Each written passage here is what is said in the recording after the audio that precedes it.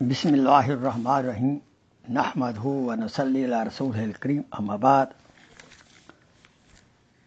My most honored brother and sister in Islam. Alaikum wa rahmatullahi wa barakatuh.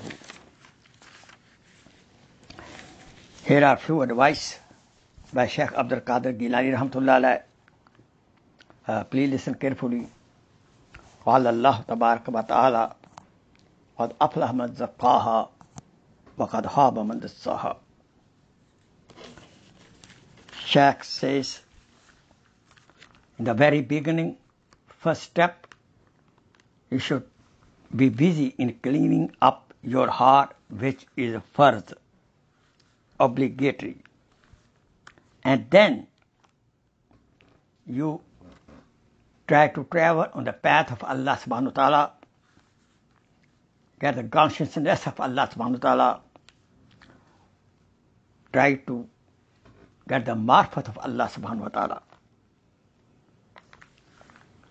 By Sharia, keep your body parts neat and clean, and by the tariqat,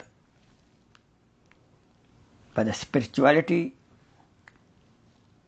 effort to clean, keep your heart clean. Don't sit in the majlis of the friend for nothing. Why? Their companionship may indulge you in telling lie, listening lie, or doing backbiting or listening backbiting. Because most of the majalis, the meetings of the friends, end with their these kind of bad action.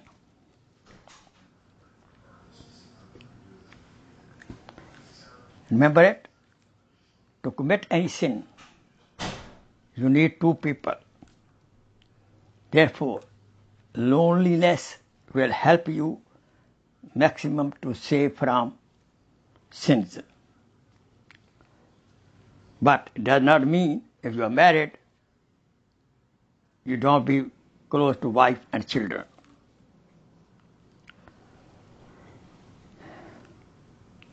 The man should be very steadfast and some allowance are given to the woman.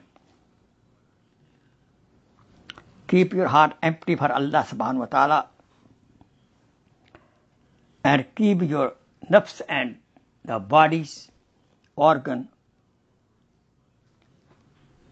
in the khidmat, the, service for the family member. Hazrat Ali Karamallah Wajhu said, so much so I have yaqeen in unseen system. I so much yaqeen in unseen system. If curtain is removed and I see everything, there will be no change in my yaqeen. How can I worship my beloved Allah subhanahu wa ta'ala without seeing? My kalb had shown me Allah subhanahu wa ta'ala.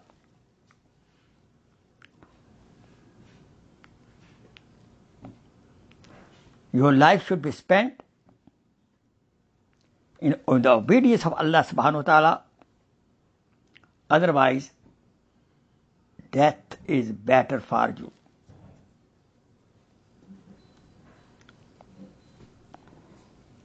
حدیث قدسی انا in the zanne abdi bi have positive thinking about Allah subhanahu wa ta'ala and negative thinking about your nafs. Oh my son, Sheikh says, you should become the advisor to your own nafs. Because my advice will only help to your apparent condition and your own advice will help your internal condition.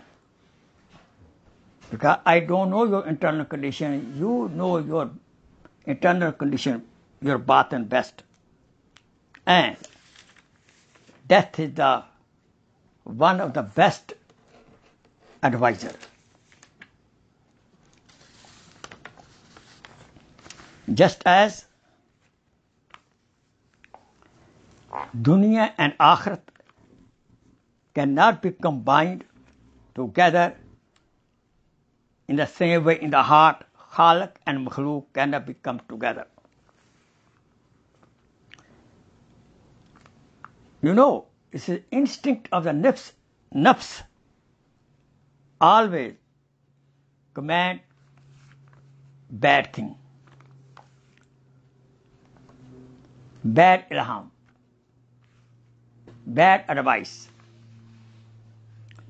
Therefore, with the mujahada, you should control, melt away your nafs.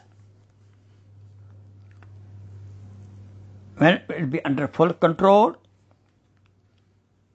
the nafs will get peace with the heart and will accept the heart advice.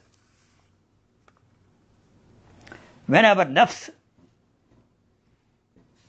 demands something, put a demand off, OFF. Don't accept his demand right away. And advise the nafs, your demand will be fulfilled in the Jannah. In dunya,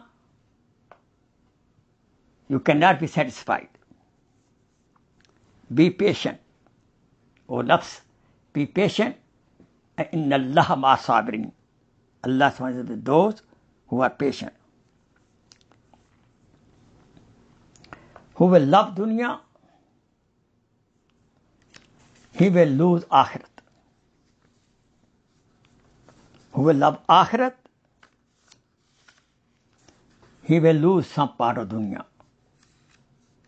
Therefore, we should prefer akhirat than the dunya.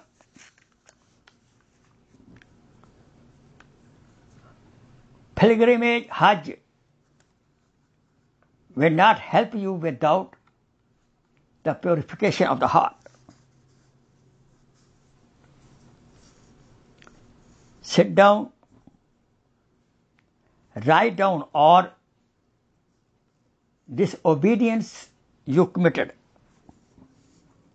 and then the pen of Tawbah, repentance, wipe out. If you want to be successful here and in life hereafter, hand over yourself totally to Allah subhanahu wa ta'ala in the sunnah way Hazrat Muhammad sallallahu alaihi wasallam.